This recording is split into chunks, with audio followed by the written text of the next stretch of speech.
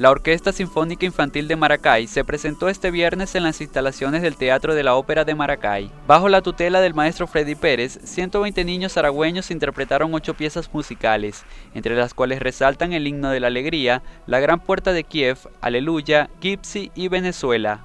Tocando música popular y académica del repertorio de orquesta sinfónica que usa el sistema de orquesta.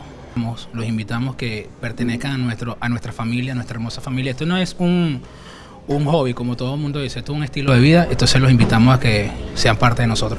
En el evento que congregó a familias de la entidad, también participaron los niños del sistema de orquestas Núcleo Arsenal de Mario Briceño Iragorri, quienes realizaron un homenaje a las madres por su día. Eh, estoy emocionada, esta es mi segunda vez en el teatro, bueno, cuando estoy tocando y le mando saludos a la gente que me quiere. Bien, y me siento muy feliz de estar aquí porque yo sé que hay niños afuera que desean estar aquí no están. Y quiero invitar a todos los niños a que eh, estudien música y vean lo hermoso que es esta arte.